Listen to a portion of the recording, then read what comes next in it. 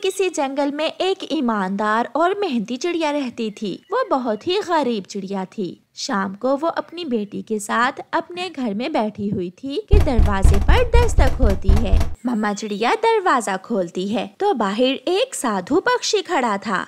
बेटी मैं भूखा हूँ मुझे कुछ खाने को दे दो। ये सुनकर मामा चिड़िया सोच में पड़ जाती है। कोई बात नहीं बेटी अगर कुछ नहीं है तो मैं चला जाता हूँ। नहीं नहीं आप रुके मैं आपको एक रोटी देती हूँ। फिर मम्मा चिड़िया घर जाती है। मम्मा अगर ये एक रोटी आप उस साधु पक्षी को दे देंगी तो हम क्या खाएँगे? बेटी घर आए सवाली को खाली हाथ नहीं मोड़ते ऊपर वाला हमें भी खाना दे देगा। ऐसा कहते हुए मम्मा चिड़िया वो एक रोटी उस साधु पक्षी को देने के लिए ले जाती है। जुग जुग जियो बेटी आपने मेरी भूख मिटाई। ऊपर वाला तुम्हारी भी भूख मिटाएगा। उस रात मम्मा चिड़िया और उसकी बेटी भूखी ही सो जाती हैं। दूसरी सुबह मम्मा चिड़िया जंगल में लकड़ियाँ काटने जाने वाली थी कि वहाँ एक कौवा आ जाता है। कौवा बहुत लालची और दुष्ट था। वो काम चोर भी था। चिड़िया चिड़िया मुझे भी अपने साथ लकड़ियाँ काटने ले जाओ। कवे भैया आप वहाँ जाकर काम तो करते नहीं हो। उल्टा मुझे तंग करते हो। नहीं नहीं चिड़िया अब मैंने सोच लिया है मैं मेहनत करूँगा और मेहनत करके बड़ा ऊँचा पक्षी बनूँगा। चिड़िया कव्वे को अपने साथ ले जाती है। जंगल जाते ही कव्वे को नींद आने लगती है। चिड़िया चिड़िया तुम लकड़ियाँ काट लो जब कट जाए तो मुझे बता देना मैं लकड़ियाँ इकट्ठी कर लूँगा। मैंने कहा था ना कि तुम कामचोर और आलसी हो। चिड़िया अपने काम पर लग जाती है और कौवा सो जाता है। चिड़िया लकड़ियाँ काट रही थी कि वहाँ वही साधु पक्षी आ जाता है। चिड़िया बेटी कल रात तुमने मेरी मदद की और आज मैं भी तुम्हारी मदद करना चाहता हूँ। वो कैसे साधु बाबा? चिड़िया वो सामने बड़े पेड़ के पीछे एक पेड़ है। तुम उस पेड़ से जाकर एक फल तोड़ सकती हो। वो फल तुम्हारे बहुत काम आएगा। साधु पक्षी ये कहकर वहाँ से चला जाता है और चिड़िया उस साधु पक्षी के बताए हुए पेड़ की तरफ़ जाती है। चिड़िया के सामने एक एप्पल का पेड़ था, जिस पर सोने के एप्पल लगे हुए थे। ये देखकर चिड़िया हैरान हो जाती है।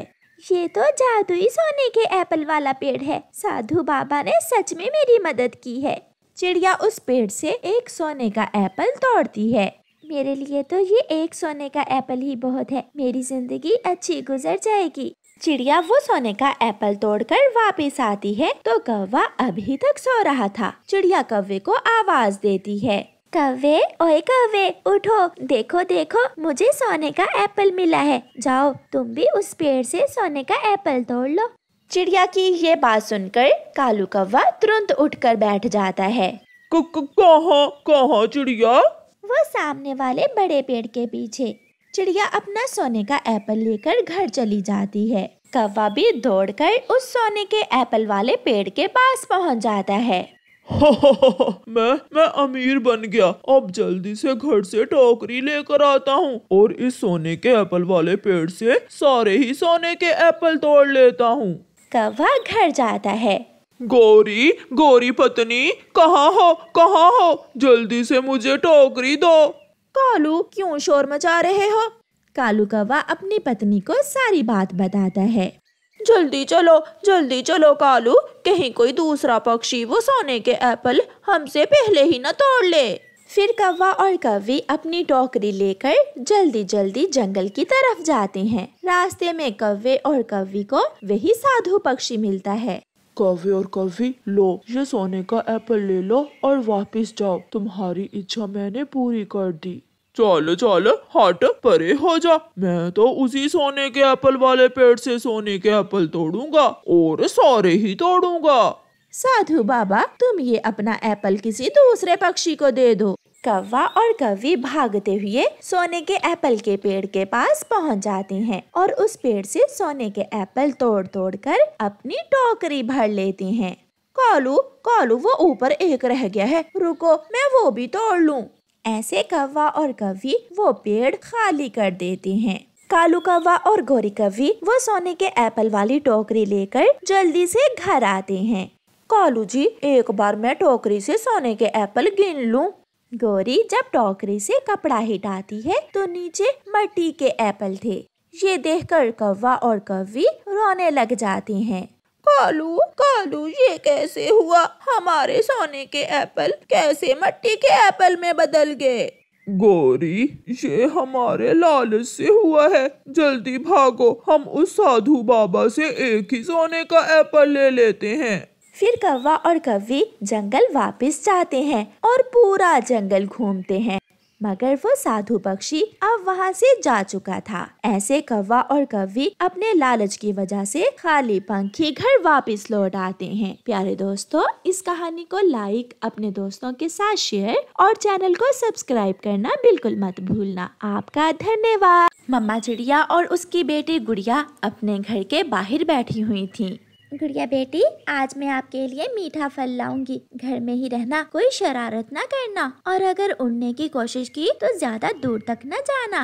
मम्मा आप हर रोज घर से जाते समय मुझे यही बातें सिखाती हैं। जब मम्मा चिड़िया और गुड़िया दोनों बातें कर रही थीं, तो दूर एक घने पेड़ के पीछे छुपा हुआ कौवा उनको देख रहा था। मम्मा चिड़िया अपनी बेटी के लिए भोजन लेने चली जाती है। जब तक मम्मा नहीं आ जाती, मैं उड़ने की प्रैक्टिस करती हूँ, क्योंकि practice makes a bird perfect गुड़िया उड़ने की प्रैक्टिस करने लगती है। वो ऊँचा जाती, फिर नीचा आती और तेज़ी से इधर उधर उड़ती। ये बात उसकी मम्मा नहीं जानती थी कि उसकी बेटी उड़ने में इतनी महारत रखती है। मम्मा चिड़िया जब अपनी बेटी के लिए भोजन लेकर वापस घर आ रही थी, कौवा आकर मम्मा चिड़िया का रास्ता रोक लेता है। डर गई डर गई ना। चिड़िया, मुझे सब पता है, तू और तेरी बेटी पीपल के पेड़ पर रहती हो। आज से तुम मुझे दाना देकर जाया करोगी। और अगर जिस दिन तुम मेरे लिए दाना ना लाई तो मैं तेरी बेटी को मार दूँगा। अपनी बेटी का सुनकर मामा चिड़िया डर जाती है। कव्वे, नहीं नहीं, ऐसा ना करना। मैं दे जाया करूँगी। मैं हर रोज तुझे दाना दे जाया करूँगी। फिर मम्मा चिड़िया अपना दाना कौवे को देकर वापस दाना लेने चली जाती है। शाम तक घूमने के बाद मम्मा चिड़िया बहुत मुश्किल से दोबारा दाना ढूंढती है और अपने घर जाती है। गुड़िया तुम ठीक हो ना मेरी बेटी? हाँ मम्मा मैं तो ठीक हूँ मगर आप आज इतनी घबराई हुई क्यों है? नहीं बेटी कोई बात नहीं है। मम्मा चिड़िया अपनी बेटी से ये बात छुपाती है कि आज उसे एक कौवे ने धमकाया था। दूसरे दिन मम्मा चिड़िया फिर से दाना लेने जाती है और जब वापस आती है तो वही कौवा रास्ते में बैठा हुआ था। मम्मा चिड़िया कौवे को दाना देती है। जिस दिन तुम मेरे लिए दाना नहीं लेकर आई तो समझ लो, उसी दिन मैं तेरी बेटी को मार दूँगा। कवे भैया मेरी बेटी को कुछ न कहना जब तक मैं ज़िंदा हूँ मैं आपको हर रोज दाना दे जाया करूँगी पहले तो मम्मा शाम से पहले ही दाना लेकर आ जाती थी मगर अब बहुत देर से आती हैं। आज मम्मा से पूछूँगी फिर जब रात को गुड़िया दाना खा लेती है तो अपनी मम्मा से पूछती है मम्मा अब आप शाम को इतनी देर से क्यों आती हैं? गुड़िया बेटी पहले दाना जंगल से मिल जाता था, मगर अब मुझे दूर वाले जंगल में जाना पड़ता है। मामा चिड़िया ऐसे झूठ बोलकर अपनी बेटी से फिर से कव्वे वाली बात छुपाती है। अगले दिन मम्मा चिड़िया फिर से दाना लेने जाती है। आज मैं भी मम्मा के पीछे पीछे छुप कर जाऊँगी और देखूँगी कि मम्मा दाना कहाँ से ढूंढ कर लाती हैं।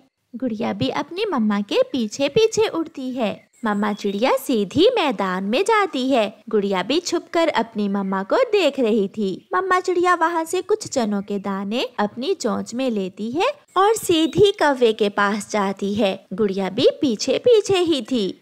कव्वे, आज मुझे यही चनों के दाने मिले हैं। आज आप यही दाना खा लें। आज मेरा कोई फल खाने का मूड है। चिड़िया, जल्दी जाओ और मेरे लिए मीठा फल लेकर आओ, वरना मैं अभी जाकर तेरी बेटी गुड़िया को मार दूँगा।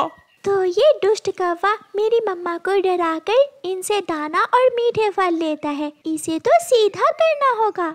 गुड़िया उड़ती हुई पीछे से जाती है और जाकर ज़ोर से अपनी चोंच कौवे के सर में मारकर दूसरी जगह बैठ जाती है। अपनी बेटी को देखकर मम्मा चिड़िया हैरान हो जाती है।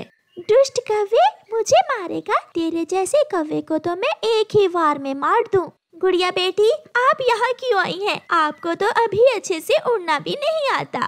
तू छोटी चिड़िया मुझसे लड़ेगी। मैं अभी देखता हूँ तुझे। हिम्मत है तो आगे बढ़ो, मुकाबला करो। कौवा उड़ता है और तेज़ी से जाकर गुड़िया को मारने लगता है। मगर गुड़िया तो बहुत तेज थी, वो दूसरी तरफ़ मुड़ती है और कौवा सीधा पेड़ की शाख से टकरा जाता है। पीछे से गुड़िया अपनी चोंच से कौवे की दुम पर मारने लगती है। मेरा सर, मेरी पूंछ छोटी चिड़िया मैं छोड़ूँगा नहीं तुझे। कौवा भागता है मगर गुड़िया भगा भगा कर कौवे को थका देती है। कौवा गिर जाता है। हार गया मैं हार गया। सुन लो कल से तुम मेरी मम्मा के लिए दाना लेकर आया करोगे वरना मैं अपनी चोंच से मार मार कर तेरी आँखें निकाल दूँगी। उठो और अब भाग जाओ यहाँ से। कौवा डरते हुए वहाँ से भाग जाता है। गुड़िया, क्या ये सच में तुमने किया है? मैं तो कई दिनों से इस कवे से डर रही थी। मम्मा, डरने का नहीं, मुकाबला करने का। चलो अब घर। दूसरे दिन कौवा चिड़िया के घर जाता है। चिड़िया, ये लो दाना। मैं कल फिर दे जाऊँगा, मगर अपनी बेटी से कहना, फिर मेरी पूंछ पर ना मारे। बहुत दर्द हो रहा है। कौवे के बच्चे दाना नहीं मुझे फल चाहिए। चल चल भाग। जल्दी से मेरे लिए फल लेकर आ। मैं गया मैं अभी जाता हूँ मगर प्लीज़ मेरी तुम पर ना मारना। कौवा डरता हुआ वहाँ से भाग जाता है। मम्मा चिड़िया और गुड़िया कव्वे को ऐसे भागते हुए देखकर हंसे जा रही थीं। प्यारे दोस्तों, इस कहानी को लाइक अपने दोस्तों के साथ शेयर और चैनल को सब्सक्राइब करना बिल्कुल मत भूलना आपका धन्यवाद